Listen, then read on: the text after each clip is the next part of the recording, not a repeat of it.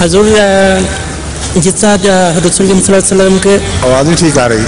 सलामकुम जिस तरह रसूल वसल्लम के पेशन को ये कि मेरे बाद तिहत्तर फिरके हो जाएँगे। मुझे समझ आ रही।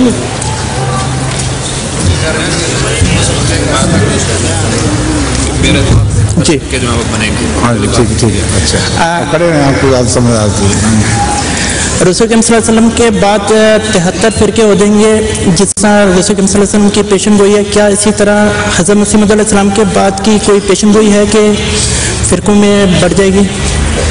कि कि बाद जिस तरह तिहत्तर फिरके जो हो गए क्या हज़रत मसीह वसल्लम ने भी ऐसी पेशगी की थी कि आपके बाद बढ़ जाएगी?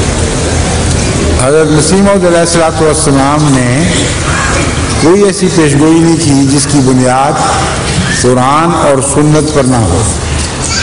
समझे? ये ज़माना जूजी तौर पर मसीह मौत का है, लेकिन फिल हकीकत हज़रत मोहम्मद रसूलुल्लाह सल्लम ही का ज़माना है और आपका ज़माना क़्यामत तक के लिए है। बस जो पेशगोइयाँ हजूर अक्रम वसल्लम ने क़यामत तक की हैं, उनमें से एक पेशगोई का ताल्लुक मसीह मौत के जहूर से था। और बहुत सी पेशगोइयों का था, मादी और जो मौत और बाद में क्या होगा? इसकी खबरें भी रसूल वसल्लम खुद दे चुके हैं। इसलिए कुरान और सुन्नत के अलावा मसीह मौद ने अलग पेशगोइयाँ नहीं की। मसन जंगों की पेशगोइयाँ की हैं जलाजिल की, आफतों की। उन सारी पेशगोइयों की बुनियाद बुनियाद कुरान और हदीस में मौजूद है। समझ गए? इसलिए रसूलुल्लाह सल्लम की जो पेशगोई है, मैं आपको बाकी बात भी बता दूँ।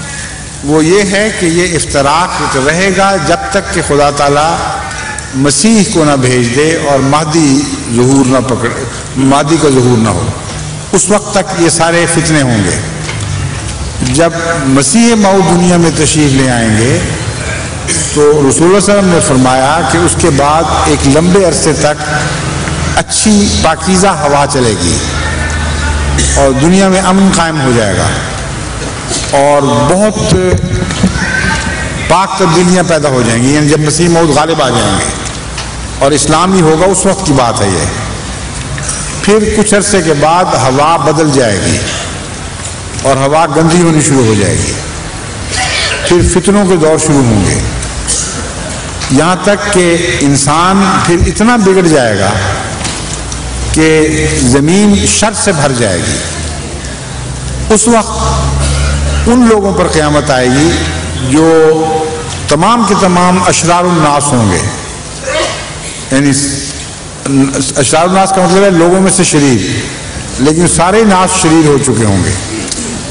हज़रत मसीह मऊदलाम ने इस ज़मन में बाज़ पेशगोइयाँ फरमाई हैं, इसी हदीस किताबें उनमें से एक ये है कि मसीह की इंजारी तजलियात बाद में होंगी। एक ऐसा मसीह भी आएगा जो आखिरी ज़माने में इंसानियत की तबाही से पहले लोगों को मुतनबे करेगा कि बाज आ जाओ और खुदा की तरफ़ लौटो, वरना तुम सब हलाक कर दिए जाओगे। लेकिन कोई उसके पैगाम को नहीं सुनेगा, कोई तोजो नहीं देगा।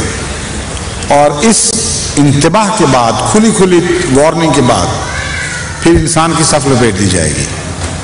समझ? गए लेकिन मजीद फिरकों का कहीं ज़िक्र नहीं मिलता। वो फसाद का हिस्सा होंगे, हो सकता हो हो सकता है बेशुमार हो जाएँ, लेकिन इसका मुन ज़िक्र हदीस में या मसीम सलाम के कुतब में नहीं मिलता।